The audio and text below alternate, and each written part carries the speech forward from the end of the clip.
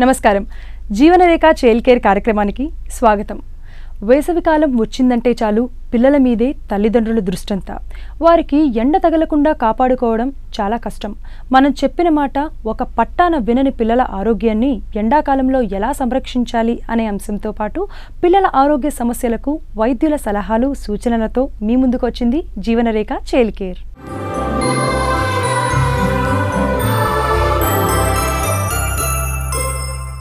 ఎండాకాలంలో మనకు తెలియకుండానే పిల్లల ఆరోగ్యాన్ని పాడు చేస్తూ ఉంటాం. జాగ్రత్త పేరుతో వాళ్ళని మరీ కట్టేసి ఎన్నో సమస్యలను తెచ్చిపెడుతూ ఉంటాం. దీని పట్ల అవగాహన లేకపోవడం వలనే ఈ ఇబ్బందులన్నీ ఎదురవుతూ ఉంటాయి.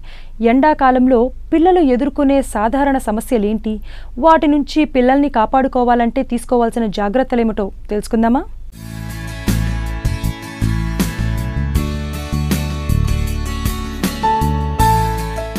ఎండాకాలం అంటేనే పిల్లలు మరింత జాగ్రత్తగా ఉండాల్సిన కాలం. అధిక ఉష్ణోగ్రతలు కలుషిత నీరు ఆహారం శీతల పానీయాలు సీజనల్ ఫుడ్స్ ఇలా ప్రతి దానితోనూ సమస్యలే. పిల్లలకు ఏదివ్వాలో ఎంతవరకు ఇవ్వాలో తెలియక పిల్లలకు సమస్యలు తెచ్చిపెడుతూ ఉంటాం. ఎండాకాలం పిల్లల్ని ఎలా ప్రభావితం చేస్తుందో ముందే తెలుసుకొని తగిన జాగ్రత్తలు తీసుకోవాలి. ముఖ్యంగా ఆరేళ్ళలోపు ఉండే పిల్లల్లో సమస్యలు ఎక్కువగా రావడానికి ఆస్కారం ఉంది. శరీర ఉష్ణోగ్రత పెరిగినప్పుడు వారికి ఫిట్స్ రావడానికి ఆస్కారం ఉంది. నీళ్ళు ఇతర ద్రవాలు పిల్లలు సరిగ్గా తీసుకోకపోతే ఎండల్లో త్వరగా నీరసించిపోతారు. ఆరు బయట ఎక్కువసేపు ఆటలు ఆడినా చెమట ద్వారా లవణాలు కోల్పోయి నీరసించిపోతారు. బయట వాతావరణంతో పాటే పిల్లల శరీర ఉష్ణోగ్రత కూడా పెరుగుతుంది. దీన్ని నియంత్రించే కేంద్రం పిల్లల మెదడులో చాలా బలహీనంగా ఉంటుంది. అందుకే వడదెబ్బ తగిలే అవకాశాలు వారిలో చాలా ఎక్కువ. కాబట్టి పిల్లల శరీర ఉష్ణోగ్రత పెరగకుండా జాగ్రత్తలు తీసుకోవాలి. అలాగే పరిశుభ్రత లోపించడం వల్ల చెమటపక్కులు ఇన్ఫెక్షన్లు సెగగడ్డలు లాంటివి రావడానికి ఆస్కారం ఉంది. ఈ సమ్మర్లో వాళ్ళకి సాలిడ్స్ కన్నా అంటే ఫుడ్ కన్నా కూడా ఫస్ట్ వాళ్ళకి ప్రాధాన్యత ఫ్రూట్స్ అండ్ లిక్విడ్స్ చాలా చాలా ప్రాధాన్యత ఇవ్వాలి. అంటే ఎవ్రీ త్రీ అవర్స్ ఎక్కువ ఫ్రూట్స్ తీసుకోవడం చాలా ఇంపార్టెంట్. అది వాటర్ మెలన్ జ్యూస్ అవ్వచ్చు లేకపోతే దానిమ్మ అవ్వచ్చు లేకపోతే కోకోనట్ వాటర్ అన్నిటికన్నా ఇంపార్టెంట్ లేకపోతే నిమ్మరసం కానివ్వండి. సో ప్రతి మూడు గంటలకు కూడా వాళ్ళకి హైడ్రేషన్ మంచిగా ఉండేటట్టు చూడాలి. ఫస్ట్ చాలా లైట్ ఫుడ్ తీసుకోవాలి. అంటే ఎక్కువ వెజిటేబుల్స్తో కూడినటువంటి ఫుడ్ తీసుకోవాలి. సాధ్యమైనంత వరకు కూడా నాన్ వెజిటేరియన్ ఫుడ్ అవాయిడ్ చేయాలి. తక్కువ క్వాంటిటీ ఫుడ్ ఎక్కువ సార్లు తీసుకోవాలి. బాగా హైడ్రేషన్ మెయింటైన్ చేసి ఫ్రూట్స్ ఫ్రూట్ జ్యూస్ బాగా తరచు తరచు పిల్లలకి ఇస్తూ ఉండాలి. ధరించే దుస్తులు కంపల్సరీగా లైట్ వెయిట్ క్లోత్స్ అయి ఉండాలి అండ్ కాటన్ క్లోత్స్ అయి ఉండాలి. పాలిస్టర్ క్లోత్స్ కానీ అటువంటి కంప్లీట్గా అవాయిడ్ చేయాలి.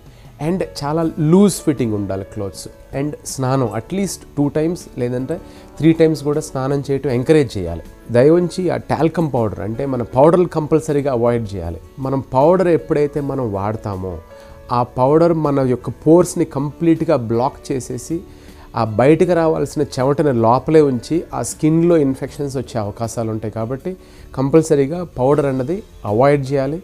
ఒకవేళ ఇంకా మాయిశ్చరైజింగ్ కొంచెం స్కిన్ డ్రైగా ఉన్న వాళ్ళకైతే కొంచెం స్నానం చేసిన వెంటనే ఇంకా ఒంటి మీద కొంచెం తడి ఉన్నప్పుడు మాయిశ్చరైజింగ్ లోషన్ రాసుకోవటం చాలా మంచిది. ఉదయం పదింటి నుంచి సాయంత్రం నాలుగు నాలుగున్నర వరకు బయట ఆడటం కన్నా కూడా లోపల ఆడటం ప్రిఫర్ చేయాలి. ఎందుకంటే ఆ టైంలో సూర్యరశ్మి సూర్యకిరణాలు చాలా ఎక్కువగా ఉంటాయి. ఆ టైంలో డిహైడ్రేషన్ వచ్చే అవకాశాలు ఎక్కువ ఉంటాయి. సో ఆటలాడినా కూడా బిఫోర్ టెన్ కానీ ఆఫ్టర్ ఫోర్ కానీ పర్మిట్ చేయాలి బయటకు వెళ్ళింది లేకపోతే ఇండోర్ గేమ్స్ని ఎంకరేజ్ చేయాలి పిల్లలు. సో ఈ జాగ్రత్తలన్నీ తీసుకోగలిగితే యూజువల్గా అప్పుడు అటువంటి ప్రాబ్లమ్స్ రాకుండా ఉంటాయి. ఎండాకాలంలో నీటి విషయంలో చాలా జాగ్రత్తగా ఉండాలి. దాహం వేసి ఎక్కడ పడితే అక్కడ నీరు తాగితే జబ్బులు రావచ్చు. అదేవిధంగా నీరు తాగకుండా ఉంటే డీహైడ్రేషన్ సమస్య ఎదురై పిల్లల ప్రాణాలే ప్రమాదంలో పడటానికి ఆస్కారం ఉంది. ఎండాకాలంలో వండిన పదార్థాలు త్వరగా చెడిపోతాయి. ఇలాంటి వాటితో అజాగ్రత్తగా ఉండి నిల్వ ఆహారం తినడం వల్ల వాంతులు విరోచనాలు వంటి సమస్యలు ఎదురు కావచ్చు బయట ఆహారం వల్ల ఈ సమస్య మరింత ఎక్కువగా ఎదురు కావచ్చు కలరా టైఫాయిడ్ కామెర్లు వంటి వ్యాధులు కలుషిత ఆహారం వల్ల వ్యాపించవచ్చు. శీతల పానీయాల్లో వాడే ఐస్ వల్ల సమస్యలు ఎదురు కావచ్చు ఈ సమయంలో పిల్లలకు అధికంగా శాకాహారం ఇవ్వడమే మేలు. ఈగల ద్వారా సమస్యలు ఎక్కువ కావడానికి ఆస్కారం ఉంది కనుక వాటి నుంచి జాగ్రత్త పడటం అలవాటు చేసుకోవాలి. ఎండాకాలంలో వేగంగా వ్యాపించే మరో సమస్య కళ్ళ కలకలు. దుమ్ము ధూళి వల్ల కంటి ఇన్ఫెక్షన్ త్వరగా వ్యాపిస్తుంది. ఒక్కోసారి చూపు మందగించి రెటీనాకు కూడా ఇబ్బంది కలిగించవచ్చు. డైట్లో కూడా హాట్గా ఉన్న ఫుడ్ తినాలి. అట్ ద సేమ్ టైం బయట ఫుడ్ కంపల్సరీగా అవాయిడ్ చేయాలి. నాన్ వెజిటేరియన్ ఫుడ్ అవాయిడ్ చేయాలి. ఆయిలీ ఫుడ్ కూడా అవాయిడ్ చేయాలి. అండ్ యూజువల్గా మేము ప్రిఫర్ చేసే లిక్విడ్స్ ఏంటంటే అన్నిటికన్నా best coconut water number one. Number two it is Electral powder. మనం చిన్నపిల్లలకి టూ హండ్రెడ్ ఎంఎల్ వాటర్లో కలిపేటువంటి ఎలక్ట్రాల్ వస్తూ ఉంటుంది. అండ్ ఫ్రీక్వెంట్గా అంటే every two to three hours ఇస్తూ ఉండాలి. ఇది కాకుండా పప్పు కట్టులో కొంచెం సాల్ట్ కొంచెం లైమ్ వేసి ఇవ్వచ్చు. అట్ ది పప్పు మీద ఉన్నటువంటి తేట. గంజి నీళ్ళు కూడా చాలా మంచివి. అండ్ సగ్గుబియ్యం నీళ్ళు. సో ఇవన్నీ మంచివి with along with butter milk butter milk and even lime juice lime జ్యూస్లో sugar లేకుండా just lime juice with salt ఎక్కువ షుగర్ తీసుకుంటే it induces asthmatic dialysis so sugar అన్నది కంపల్సరీగా అవాయిడ్ చేయాలి. And lime and salt is a good combination for all నేను చెప్పిన అన్నట్లో కూడా మీరు అది యాడ్ చేయొచ్చు. ఇలా చేయటం వలన డీహైడ్రేషన్ ప్రివెంట్ అవుతుంది.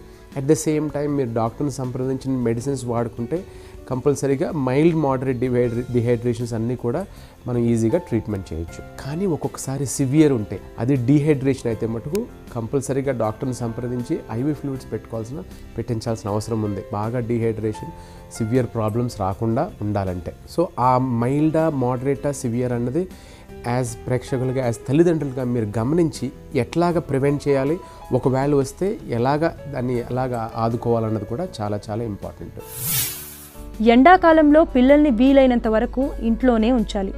ఇంట్లో చిన్నపాటి ఆటల ద్వారా వారు బయటకు వెళ్ళకుండా చూడాలి. రోజు వివిధ రకాల ద్రవాలు తాగించాలి.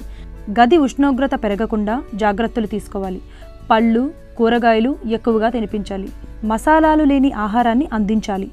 వీలైనంత వరకు పిల్లలకు వండిన వెంటనే ఆహారాన్ని తినిపించేలా జాగ్రత్తలు తీసుకోవాలి. బయటకు వెళ్ళవలసి వస్తే కంటికి అద్దాలు గొడుగు టోపీ వాడాలి. దోమలు కుట్టకుండా రాత్రిపూట పైజామా లాంటివి వాడాలి. బయట ఆహారాన్ని వీలైనంత వరకు తగ్గించాలి. అదేవిధంగా పిల్లల్ని బయటకు తీసుకెళ్ళాలి అంటే సమయం కూడా సరైనది ఎంచుకోవాలి. ఆటలు ఈత నేర్పించాలంటే ఎండ పెరగకముందే బయటకు తీసుకెళ్ళడం సాయంత్రాలు ఎండ బాగా తగ్గిన తరువాత గానీ తీసుకువెళ్ళాలి. చెమట శరీరం మీద ఉండిపోకుండా ఎప్పటికప్పుడు తుడుస్తూ ఉండాలి. దానితో పాటు వేసవి కాలంలో లభించే మామిడి పండ్లు తాటిముంజలు లాంటివి అధికంగా ఇవ్వాలి. వాతావరణంలో చూసినటువంటి ఇన్ఫెక్షన్స్ యూజువల్గా స్కిన్ ఇన్ఫెక్షన్స్ చూస్తూ ఉంటాం. At the same time eye eye irritation చూస్తూ ఉంటాం. అట్ ది సేమ్ టైం ఐలో ఇన్ఫెక్షన్స్ రెడ్ ఐ కూడా చూస్తుంటాం సో అటువంటి ఇన్ఫెక్షన్స్ ఫస్ట్ మనం ప్రివెంట్ చేసుకోవాల్సినప్పుడు మనం ఇందాక అనుకున్నట్టు కంపల్సరీగా ప్రివెంటివ్ మెజర్స్ చూసుకోవాలి. ఒకవేళ స్కిన్ ఇన్ఫెక్షన్స్ వచ్చినా ఐ ఇన్ఫెక్షన్స్ వచ్చినా అది తీవ్రంగా ఉంటే కంపల్సరీగా దానికి ట్రీట్మెంట్ డాక్టర్ని సంప్రదించాలి. దానికి ట్రీట్మెంట్ కూడా తీసుకోవాల్సిన అవసరం ఉంది. సో ఇది ప్రివెన్షన్ అన్నది చాలా చాలా ఇంపార్టెంట్ ఇక్కడ కూడా. ఇందాక మనం అనుకున్నట్టు స్కిన్ ఇన్ఫెక్షన్స్ ప్రివెంట్ చేయటం చాలా ఇంపార్టెంట్. నెంబర్ వన్ కంపల్సరీగా ఫ్రీక్వెంట్గా స్నానం చేస్తూ ఉండాలంటే రోజుకు two to three times cold pack పెట్టడం చాలా మంచిది. టెపిడ్ స్పాంజింగ్ చేయడం మంచిది. At the same time cold pack ఈ ఐస్ ప్యాక్స్ దొరుకుతాయి అది మెడ మీద కానీ కాళ్ళ దగ్గర కానివ్వండి సో భుజాల దగ్గర కానివ్వండి అన్ని కోల్డ్ ప్యాక్స్ చేస్తే బాడీ టెంపరేచర్ బాగా తగ్గుతుంది.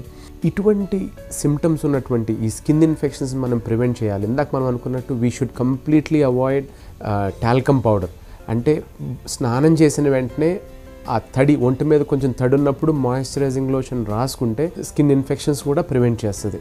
కానీ ఎక్కువ టాల్కమ్ పౌడర్ వాడటం వలన ఎక్కువ స్కిన్ ఇన్ఫెక్షన్స్ వచ్చే అవకాశాలు కూడా ఉన్నాయి.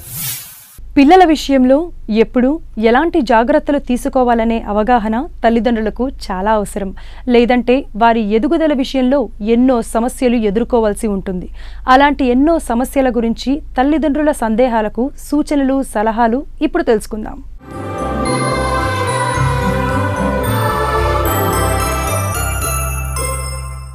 డాక్టర్ గారు అంజలి గారు ఇలా అడుగుతున్నారు. మా బాబు వయసు మూడు సంవత్సరాలు.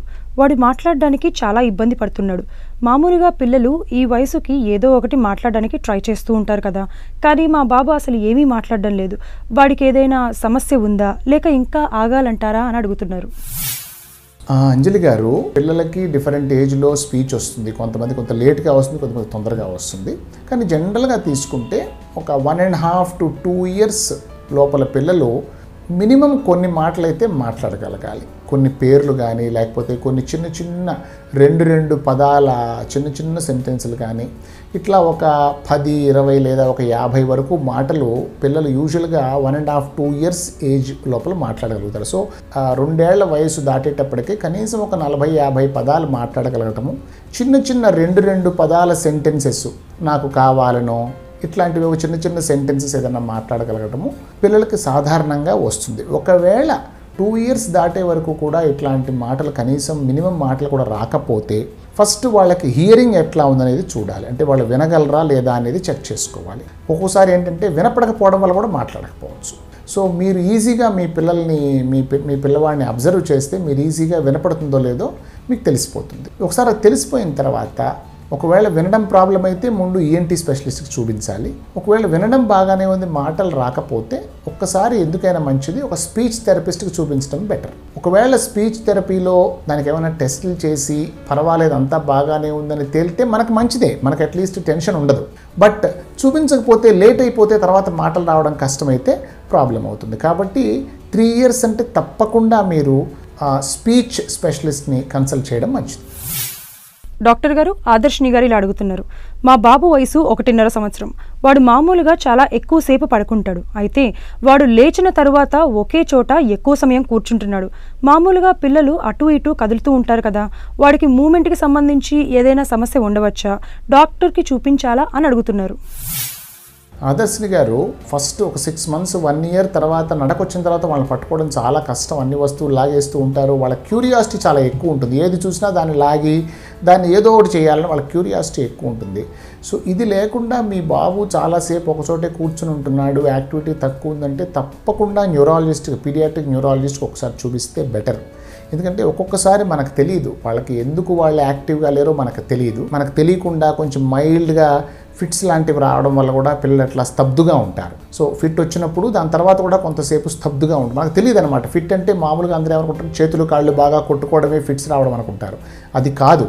చాలా మైల్డ్గా చాలా వితౌట్ మచ్ మూమెంట్స్ లేకుండా కూడా ఫిట్స్ వస్తూ ఉంటాయి పిల్లల్లో. సో ఇలాంటివి ఏమన్నా ఉన్నాయేమో? మీరు ఒక్కసారి యాక్టివిటీ విషయంలో మటుకు one and half years child బాగా యాక్టివ్గా ఉండాలి. అలా లేకపోతే తప్పకుండా మీరు పీరియాట్రిక్ న్యూరాలజిస్ట్కి చూపించడం మంచిది. డాక్టర్ గారు దీపిక గారు ఇలా అడుగుతున్నారు. మా పాప వయసు ఎనిమిది సంవత్సరాలు ఉంటుంది. మేము పోయిన వారం ఊరెళ్తే ఒక యాక్సిడెంట్ జరిగింది. మా పాప ఆ యాక్సిడెంట్ని చూసింది. చాలా భయపడిపోయింది. అప్పటి నుంచి రాత్రి సమయంలో పక్క తడిపేస్తోంది. ఇంతకుముందు తనకెప్పుడూ ఇలాంటి అలవాటు లేదు. భయపడటం వల్లే ఇలా జరుగుతుందంటారా? ఇప్పుడు మేమేం చేయాలి అని అడుగుతున్నారు. ఎయిట్ ఇయర్స్ ఓల్డ్ పాప ఉందని చెప్తున్నారు కదా. ఇప్పటిదాకా వచ్చిన యూరినరీ కంట్రోల్ అది బాగా అటైన్ అయినట్టే. సో ఈ ఇన్సిడెంట్ వల్ల తను డిస్టర్బ్ అయింది కనుక మెంటలీ సైకలాజికల్గా తను ఒక షాక్ స్టేట్లోకి వెళ్ళిపోయినందుకు ఈ ప్రాబ్లం రావచ్చు. కామన్గా వస్తుంది ఇది.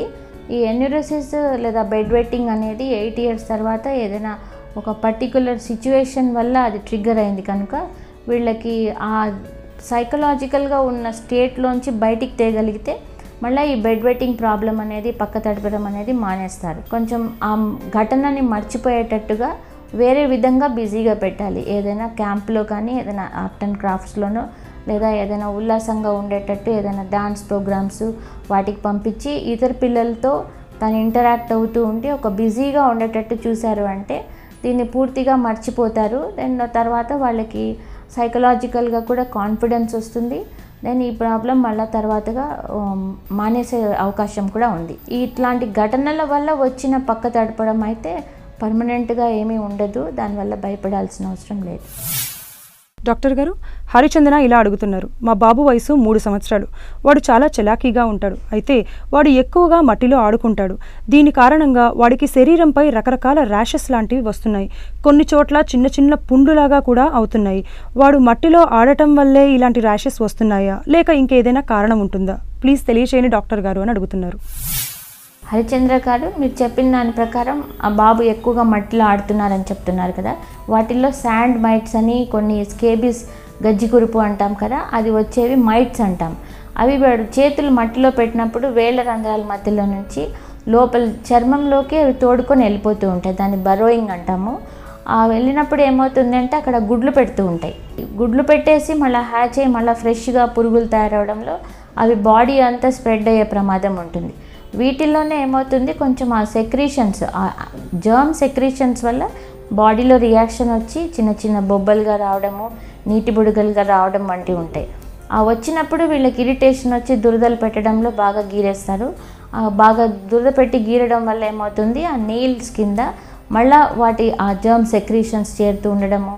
అదే చేయి తీసుకొని మళ్ళీ ఇంకో చోట వాళ్ళు గీరుకున్నప్పుడు మళ్ళీ అక్కడికి జర్మ్ ట్రాన్స్ఫర్ అయ్యి అక్కడ మళ్ళీ ఫ్రెష్ బాయిల్ రావడం ఇట్లా కంటిన్యూస్ ప్రాసెస్ లాగా వస్తూ ఉంటుంది.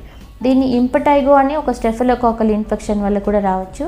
లేదా స్కేబీస్ అనేది వస్తుంది. రెండిట్లో స్కేబీస్ అనేది చాలా రోజులుగా ఉంటుంది. ఇది మామూలుగా ఇట్లా మట్టిలో ఆడడం వల్ల కానీ లేదా ఈ ఇన్ఫెక్షన్ ఉన్న వేరే పిల్లల వాళ్ళతో ఆడుకోవడం వల్ల కరచాలనం చేయడం వల్ల కూడా వస్తూ ఉంటుంది. వీటిని ప్రాపర్గా డాక్టర్కి చూయించుకొని ఎంత త్వరగా వీలవుతే అంత త్వరగా ఆ ఇన్ఫెక్షన్ అరికట్టుకోవడం మంచిది. తద్వారా ఏం చేయాలంటే మీరు ఎక్కువ మట్టిలో ఆడకుండా ఉండేటట్టు చూసుకోవాలి. ఆ పిల్ల చిన్నపిల్లలు ఆడుకుంటారు అని వదిలేసినప్పుడు మనం ఇంటికి రాగానే వాళ్ళని బాగా హ్యాండ్స్ వాష్ చేసుకోవడము శుభ్రంగా ఉంచుకోవడం లాంటివి చిన్నప్పటి నుంచే నేర్పుతూ ఉండాలి. సో దట్ ఇది మళ్ళా మళ్ళీ రిపీట్ కాకుండా ఉంటుంది. వేసవిలో పిల్లలను ఎండబారు నుంచి కాపాడుకోవడానికి తీసుకోవాల్సిన జాగ్రత్తల గురించి తెలుసుకున్నాం కదా. మరో మంచి అంశంతో జీవనరేఖ చైన్ కేర్ కార్యక్రమంలో మళ్ళీ కలుసుకుందాం. అంతవరకు సెలవు. నమస్తే.